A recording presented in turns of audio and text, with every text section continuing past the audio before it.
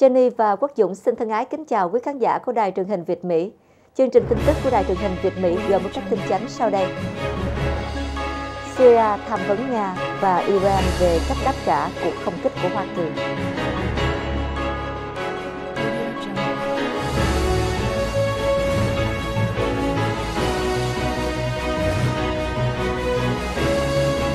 EU cam kết sát cánh cùng Thụy Điển sau vụ tấn công khủng bố.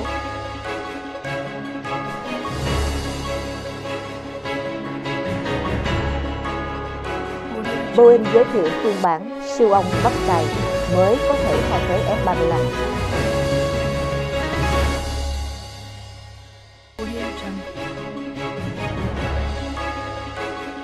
Ông Erdogan quan nghênh đòn tấn công của Hoa Kỳ, hy vọng đó mới chỉ là bước khởi đầu.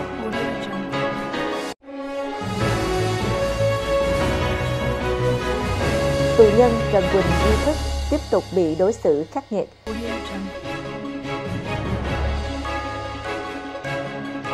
Và sau đây là phần mở đầu với điểm tin thế giới do sứ ngôn viên Quốc Dũng trình bày cho quý vị.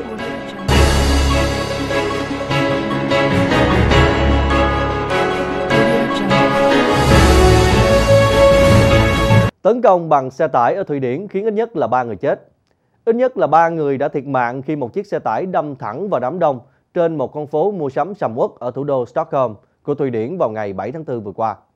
Hãng thông tấn Thụy Điển dẫn lời Thủ tướng nước này Stephen Löfven nói tất cả những bằng chứng ban đầu cho thấy đây là một vụ tấn công khủng bố. Một phần trung tâm của Stockholm đã được cảnh sát dựng hàng rào và toàn bộ khu vực này đã được sơ tán. Một số lượng lớn cảnh sát và nhân viên cấp cứu đã được điều động tới hiện trường. Tôi nhìn thấy ít nhất là ba người chết, có thể số người thiệt mạng còn nhiều hơn nữa. Hãng tin Reuters dẫn lời nhà báo Martin Venninsen của tiếng đài tiếng nói Thụy Điển Hãng thông tấn TT nói cảnh sát xác nhận là có 3 người chết trong vụ tấn công. Một số nguồn tin báo chí Thụy Điển khác nói có 5 người thiệt mạng. Thủ tướng Sloven đã hủy một chuyến đi tới Gothenburg để quay về Stockholm. Đây là một hành động khủng bố tồi tệ và chúng tôi đang nghĩ về các nạn nhân và người thân của họ, cũng như những người bị thương. Ông Sloven nói với các nhà báo như vậy. Ông cũng nói một người liên quan đến vụ tấn công đã bị bắt giữ Vụ tấn công ngày 7 tháng 4 ở Stockholm diễn ra ở địa điểm chỉ cách một lô từ vị trí xảy ra vụ đánh bom tự sát, khiến hai người và kẻ đánh bom thiệt mạng hồi tháng 12 năm 2010. Hồi năm 2010, tổ chức khủng bố Al-Qaeda đã kêu gọi các tín đồ sử dụng xe tải làm vũ khí. Gần đây nhất, tại London vào hôm 22 tháng 3 vừa qua, một người đàn ông lái xe tông thẳng vào đám đông của người đi bộ ở cầu Westminster, khiến 4 người thiệt mạng. Tiếp đó, kẻ tấn công dùng dao đâm chém khiến thêm một cảnh sát thiệt mạng trước khi bị lực lượng an ninh bắn hạ. Tổ chức khủng bố tự nhân nhà nước Hồi giáo IS đã nhận trách nhiệm đối với vụ tấn công ở Nice vào tháng 7 năm ngoái và Berlin vào tháng 12 năm ngoái. Kính thưa quý vị. Tin Hàn Quốc vào ngày 7 tháng 4, hãng thông tấn Yonhap dẫn nguồn tin quân đội Hàn Quốc thông báo sẽ triển khai nhiều máy bay không người lái tới các đơn vị tiền tuyến để đối phó với các hoạt động của binh sĩ Triều Tiên giới chức quốc phòng, quốc phòng của Hàn Quốc được dẫn lời cho biết khoảng 10 chiếc máy bay loại này sẽ được triển khai ngay trong năm 2017 tới các đơn vị cấp sư đoàn của lục quân và lính thủy đánh bộ, đặc biệt là các đơn vị tiền đồn và bảo vệ bờ biển. Ngoài ra, tới năm 2021, khoảng 20 chiếc khác sẽ được triển khai tới các đơn vị đóng quân dọc theo tuyến biên giới Triều Tiên.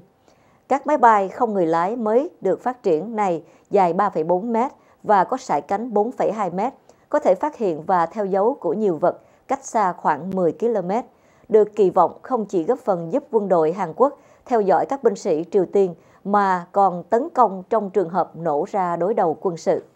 Trước đây, quân đội Hàn Quốc phải phụ thuộc vào các thiết bị quan sát nhiệt để theo dõi hoạt động của quân đội Triều Tiên gần sát khu phi quân sự. Kính thưa quý vị. Tin từ Trung Quốc, Hà Bắc có quyền tỉnh trưởng sau khi lập đặc khu.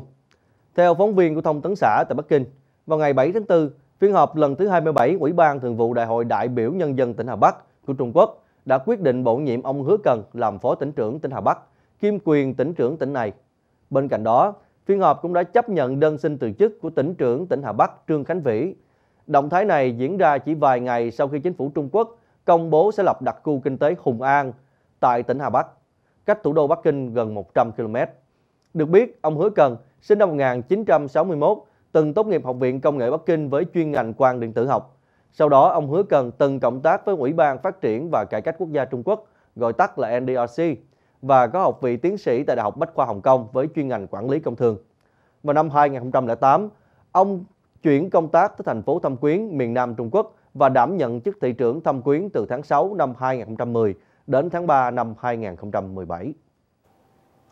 Tin Philippines, Bộ Quốc phòng Philippines vào ngày 7 tháng 4 lên tiếng nói nước này sẽ nâng cấp các cơ sở hiện có trên các đảo và bãi đá không có người ở thuộc chủ quyền nước này ở Biển Đông và Philippines không có ý định chiếm thêm lãnh thổ mới.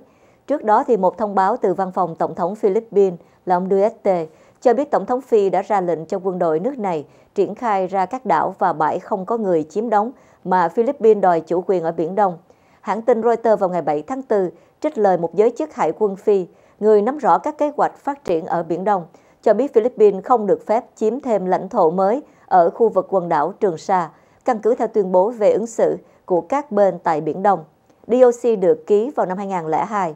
Bộ trưởng Quốc phòng Philippines là Delphine Lorenzana cho biết Philippines hiện chỉ có kế hoạch sửa chữa và nâng cấp các cơ sở hiện có của nước này ngoài Trường Sa mà thôi.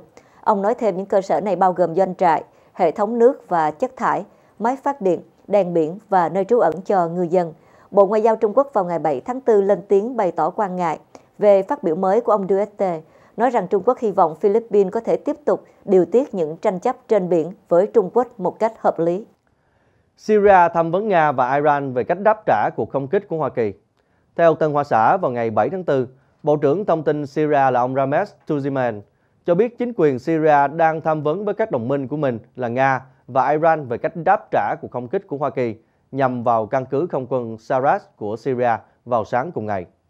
Theo Bộ trưởng Rames, ban lãnh đạo Syria đang tham vấn với Nga và Iran về cách đáp trả sự xâm lược của Hoa Kỳ, đồng thời cho biết sẽ sớm có một hành động chính trị. Trước đó, trong một hành động vô lý với lý, với lý đáp trả tấn công được cho là bằng hóa học ở thị trấn Khan Khelkon ở tỉnh Idlib của Syria. Hoa Kỳ đã phóng khoảng 60 quả tên lửa Tomahawk vào căn cứ trên. Vụ tấn công khiến căn cứ này gần như bị phá hủy hoàn toàn. 6 binh sĩ Syria thiệt mạng và 9 máy bay chiến đấu của Syria bị phá hủy. Tin Ấn Độ, mới đây cảnh sát Ấn Độ đã giải cứu một bé gái 8 tuổi không biết nói tiếng người và di chuyển bằng bốn chi vì sống với bầy khỉ trong rừng. The Times của India đưa tin, bé gái được tìm thấy tại khu bảo tồn động vật hoang dã Kataniagat gần biên giới với Nepal. Theo tờ báo này, cô bé trò chuyện bằng tiếng kêu, hú và không di chuyển bằng hai chân. Vì những tình tiết giống với truyện cậu bé Jungle Book, bé được đặt tên là cô bé Mowgli. Tên nhân vật cậu bé được bầy sói nuôi dưỡng. Theo thông tin ban đầu, cô bé được tìm thấy cách đây 2 tháng và được chăm sóc tại bệnh viện. Hiện giới chức nước này đang tìm hiểu xem bé là ai, đến từ đâu và sống trong môi trường quan giả như vậy trong bao lâu. Máy bay Hàn Quốc hạ cánh khẩn cấp tại Trung Quốc. Vào ngày 7 tháng 4, một máy bay chở khách số hiệu KI-814 của hãng hàng không quốc gia Hàn Quốc đã phải hạ cánh khẩn cấp xuống sân bay tại thành phố Vũ Hán của Trung Quốc. Hãng hàng không quốc gia Hàn Quốc cho biết chiếc máy bay nói trên chở 108 hành khách khởi hành từ lúc 9 giờ sáng ngày 7 tháng 4 vào giờ địa phương từ sân bay quốc tế Incheon, Hàn Quốc và đã phải hạ cánh khẩn cấp vào lúc 1 giờ 50 do phát hiện tín hiệu bất thường ở động cơ bên trái. Vụ việc xảy ra khi máy bay này trên đang trên hành trình với tới một sân bay khác của Trung Quốc. Ngay sau khi phát hiện thấy tín hiệu bất thường, tổ bay đã quyết định thay đổi lộ trình và hạ cánh khẩn cấp xuống sân bay Vũ Hán nhằm đảm bảo an toàn. Hiện hãng hàng không quốc gia Hàn Quốc đang tiến hành kiểm tra, đánh giá nguyên nhân phát sinh tín hiệu bất thường nói trên. Tin Thụy Điển, Liên minh châu Âu cam kết sát cánh và đoàn kết cùng người dân và nhà chức trách Thụy Điển sau vụ tấn công khủng bố. Liên minh châu Âu vào ngày 7 tháng 4 đã bày tỏ tình đoàn kết và đề nghị được hỗ trợ Thụy Điển sau vụ tấn công khủng bố nhằm vào nước này trước đó ít giờ. Trong một tuyên bố, Chủ tịch Hội đồng châu Âu là Jean-Claude Juncker đã nhấn mạnh bất cứ cuộc tấn công nào nhằm vào một số các quốc gia thành viên Liên minh châu Âu đều là sự tấn công nhằm vào Liên minh châu Âu. Liên minh châu Âu cam kết sát cánh và đoàn kết cùng người dân và nhà chức trách Thụy Điển. Trong khi đó, thì trong một dòng trạng thái đăng tải trên trang Twitter cá nhân, Chủ tịch Hội đồng châu Âu Donald Tusk đã nói rằng trái tim của ông lúc này đang hướng về Thụy Điển, Ý nghĩ của ông đang theo dõi các nạn nhân và gia đình của họ sau vụ tấn công kinh hoàng tại Thụy Điển. Trước đó ít giờ thì một chiếc xe tải đã lao vào đám đông tại trung tâm thủ đô Stockholm của Thụy Điển, làm ít nhất 3 người chết và nhiều người bị thương. Vụ tấn công xảy ra vào lúc 13 giờ GMT, tức là 20 giờ tối giờ Việt Nam, tại phố Drottninggatan, là khu phố đi bộ lớn nhất của thủ đô Stockholm. Chiếc xe tải sau đó đâm một loạt vào cửa hàng bách quá gần đó. Thủ tướng Thụy Điển Stefan Löfven sau đó đã gọi đây là một vụ tấn công khủng bố. Thụy Điển đã bị tấn công, mọi thứ đã cho thấy đây là một vụ tấn công khủng bố. Chính phủ đã được thông báo về tình hình này. Chúng tôi đang làm tất cả những gì có thể để hỗ trợ các lực lượng chức năng. Chúng tôi kêu gọi người dân cần cảnh giác và theo dõi tình hình. Thủ tướng Thụy Điển cho biết, hiện lực lượng chức năng Thụy Điển đang tiếp tục điều tra vụ việc này. Cảnh sát khuyến cáo người dân tránh tụ tập tại khu vực trung tâm Stockholm. Hệ thống tàu điện ngầm tại thủ đô cũng đã tạm ngừng hoạt động. Vụ tấn công này xảy ra sau các vụ tấn công kinh hoàng tương tự bằng ô tô tại Pháp, Đức và Anh. Kính thưa quý vị. Vừa rồi là các phần tin tức thế giới. Xin quý vị đừng rời màn hình. Chúng tôi sẽ quay trở lại sau vài thông tin thương mại. Música